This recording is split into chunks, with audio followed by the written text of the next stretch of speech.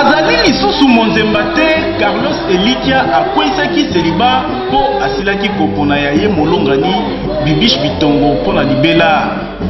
nsima ya mariage coutumier mpe civil lokola bakretien ya solosolo baponaki eglise salem na mbinza delvaux mpo na kosele couple na bango na maboko ya nzambe pasteur jimi kongo atyaki couple carlos elikia maboko mpo na koluka protection divine ya couple oyo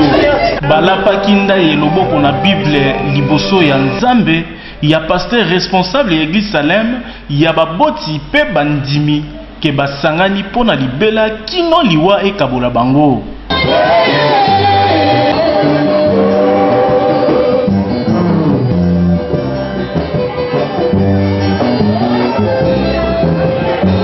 soirée dansante ezalaki bongo na espace salon frank na kitambo wapi epai bafamille bacollègue de service baninga mpe baconnaissance na bango bayaki mpo na komemya carlos elikia na bibishi bitongo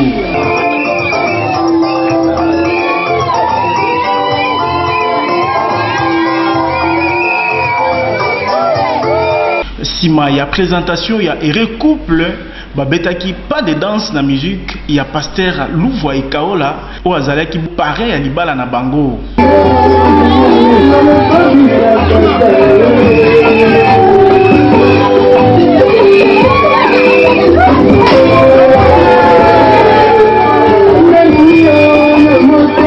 lokola epesamelaka moto nyonso te bainvite oyo bazalaki présent na salle Babongisaki bakado ya ndenge na ndenge mpo na koankuraje couple Carlos Elikia oyo baponi nzela ya libala.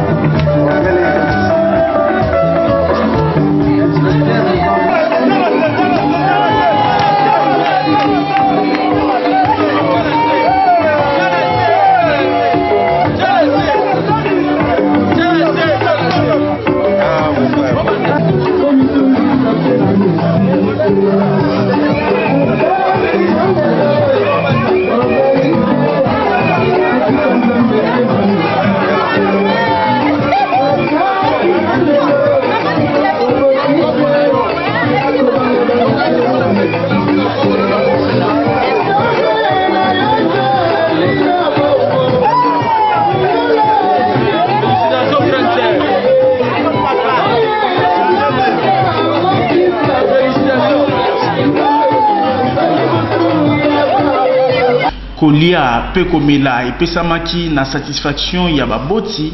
ya baninga na bango ya mosala mpe ba invites oyo bawutaki bipayi na bipayi